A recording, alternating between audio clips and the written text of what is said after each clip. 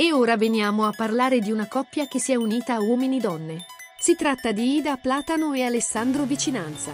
Il motivo è semplice, non è stato annunciato nulla di ufficiale.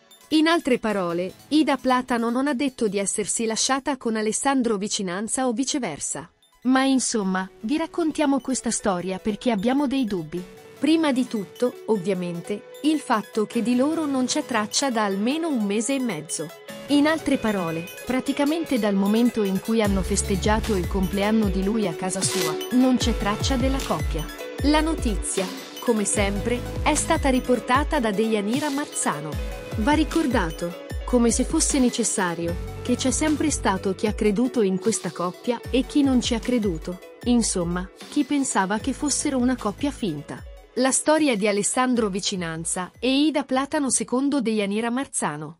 Uomini e donne, la rivelazione di Alessandro Vicinanza e Ida Platano. In effetti, come potete vedere, l'esperta di gossip e web influencer Deianira Marzano ha commentato la vicenda, chiaramente. Ma perché stavano davvero insieme? Insomma, è una di quelle che non ha creduto a questa storia d'amore. Un mese fa, infatti, Alessandro Vicinanza aveva rilasciato la seguente dichiarazione.